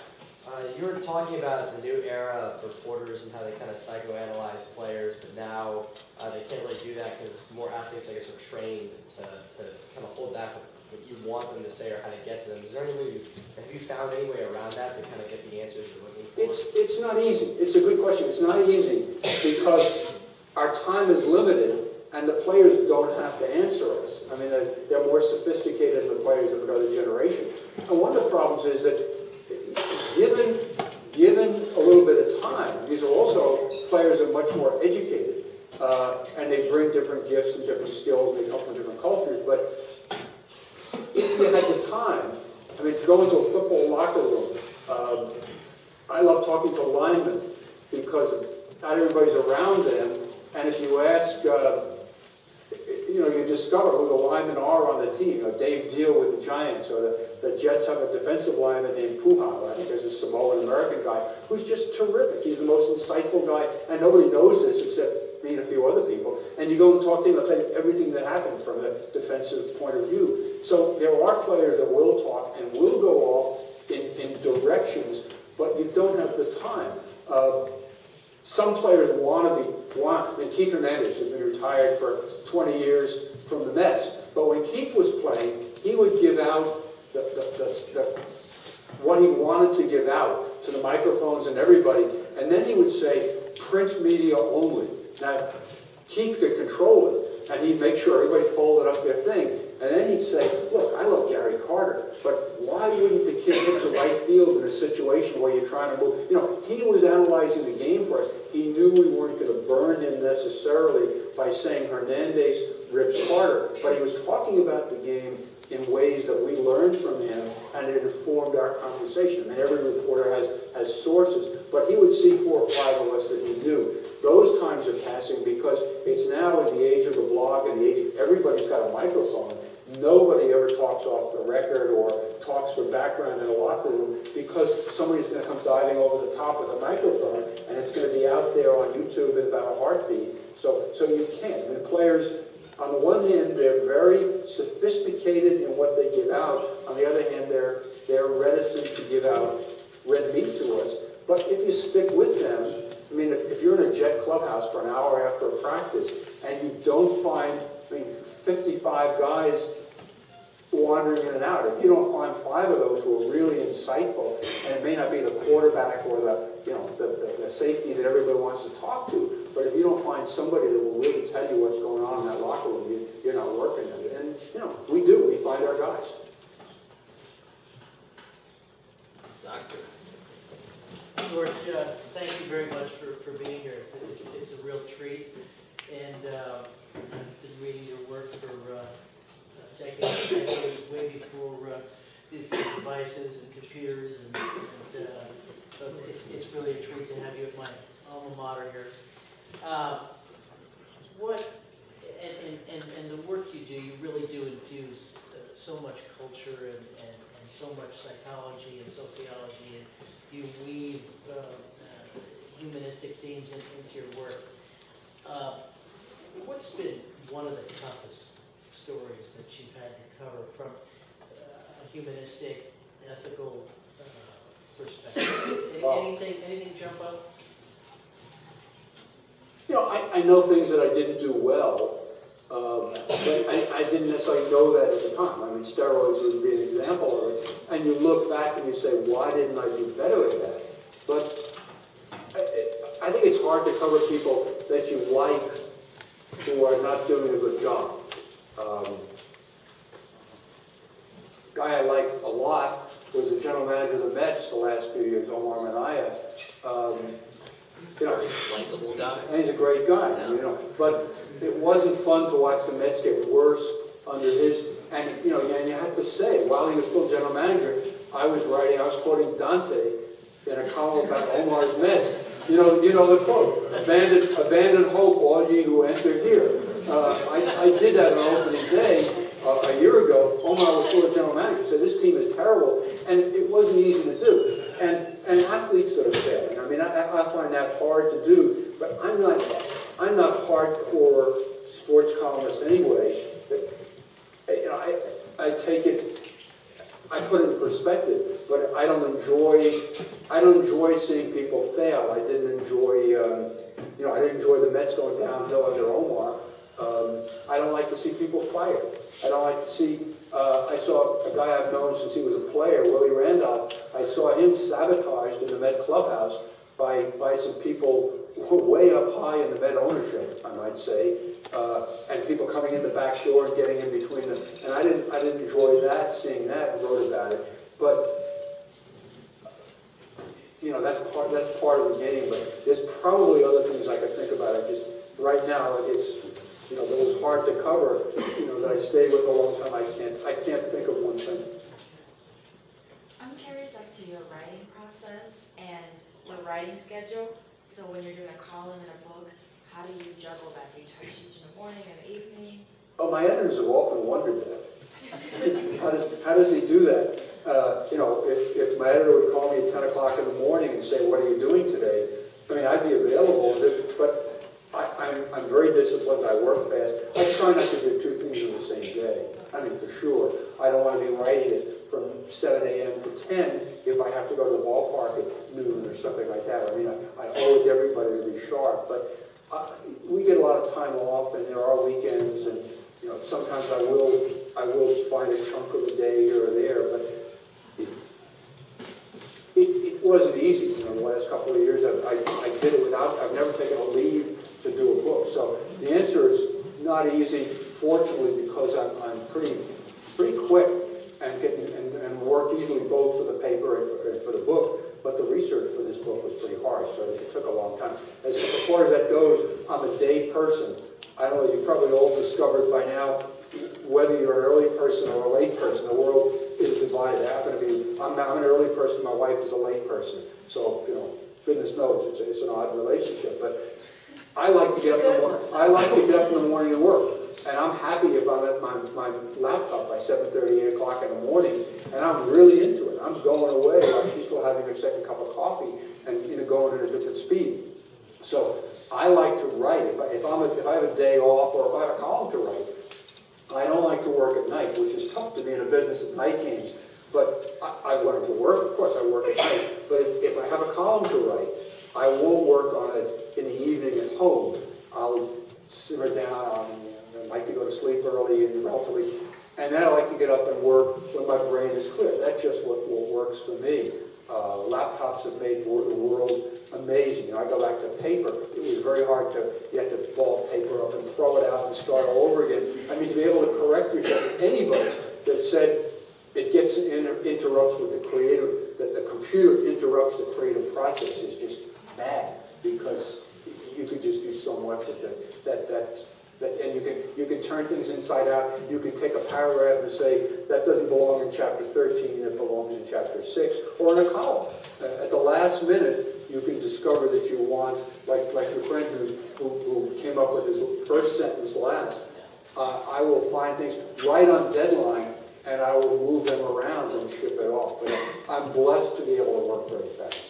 It, it's something to work at. And for those of you who are in journalism, you know, writing for the paper, writing for class, it's a great skill to have. I've said this in the other two classes while I'm here. The journalistic skill of being able to take in information while it's a dying newspaper, you know, not doing well and fewer jobs, for those of you who learn how to take in information and process it and give it back out, it will help you in a lot of fields. I have friends who went into public relations or, or business or whatever, and they were able to get the work done by Tuesday afternoon when the boss thought they were going to take all week to do something. Why? Because they were journalists.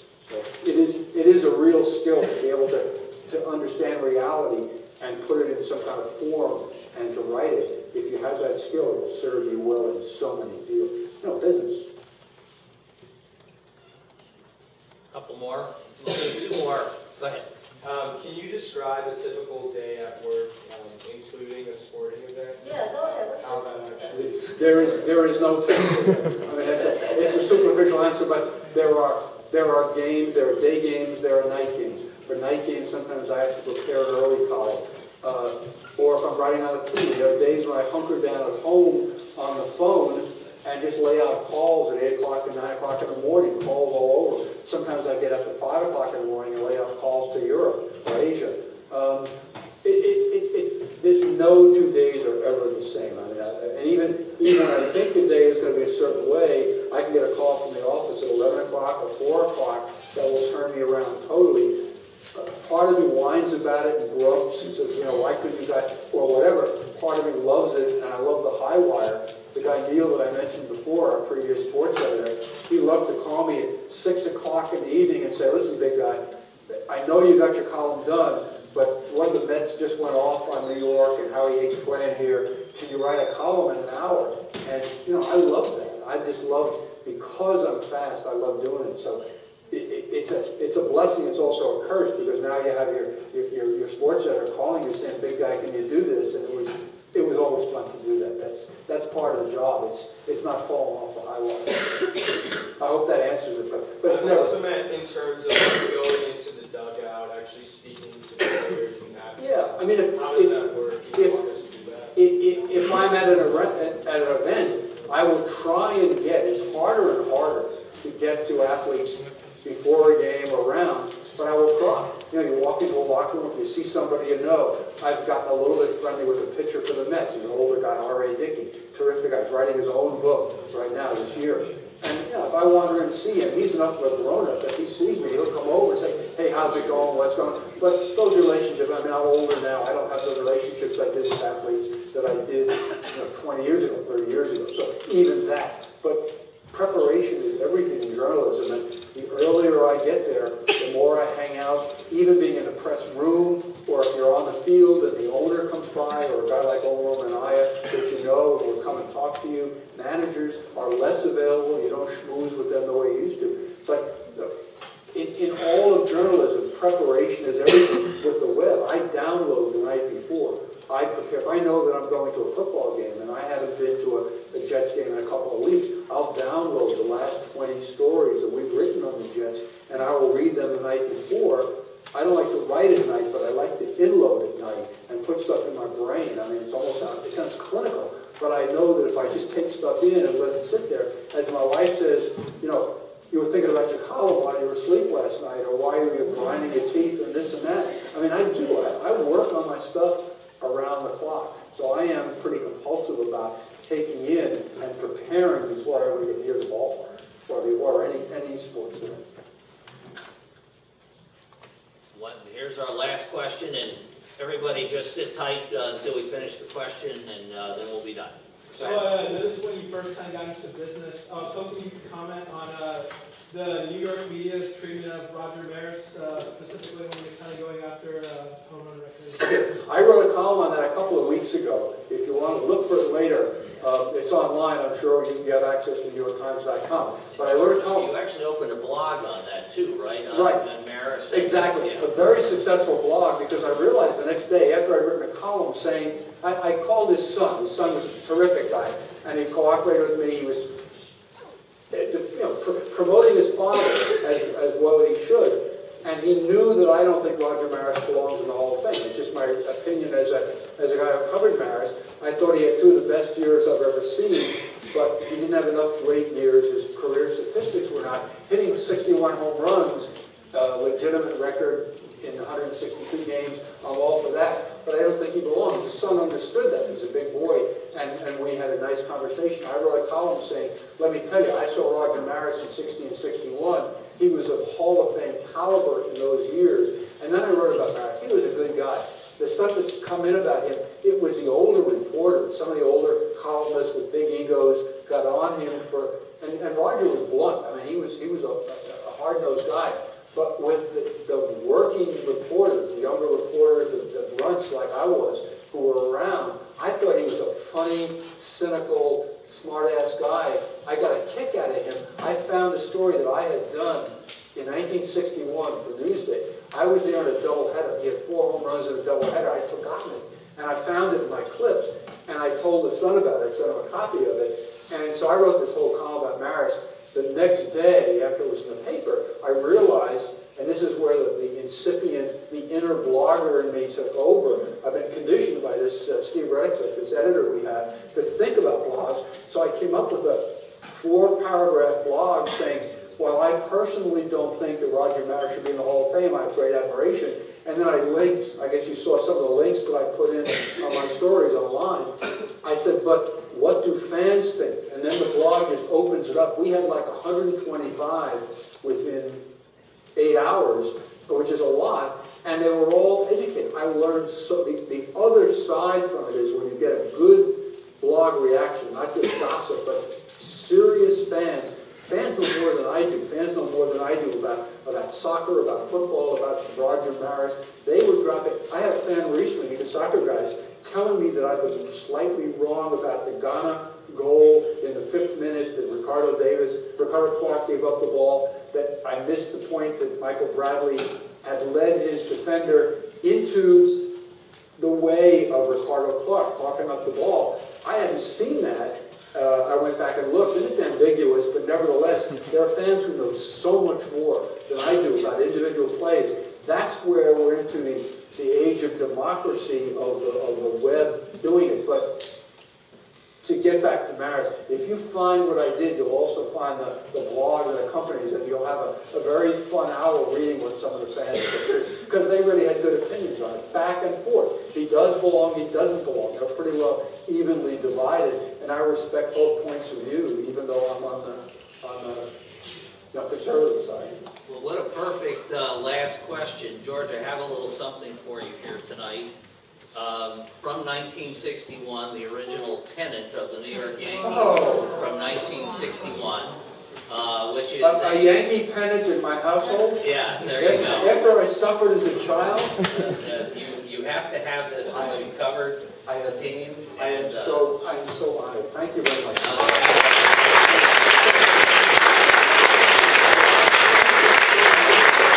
uh, I have to I tell was you... there, I knew. I I have to tell you one thing, when we were corresponding about coming here uh, tonight, um, over the last several weeks, uh, George told me he had two choices, he's on vacation this week. He could be in the south of France, or he could be in Austin with us, and look what he did. All right?